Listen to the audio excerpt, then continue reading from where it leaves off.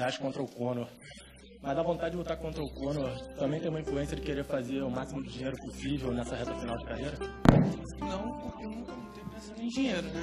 Eu, eu quero realmente me testar com ele. Eu acho que ele é um grande atleta e, e tem uma habilidade para muito, muito boa apesar de meu foco estar tá sendo o meu, meu atual adversário agora, mas eu gostaria de me testar com ele sim, até porque eu nunca consegui, é, é, nunca consegui não, nunca lutei no peso abaixo, eu lutei quando eu era mais, mais jovem, né, lutei no, no com 73 quilos, se eu não me engano, então eu acho que, assim, para mim, para eu me testar, seria, seria uma luta interessante.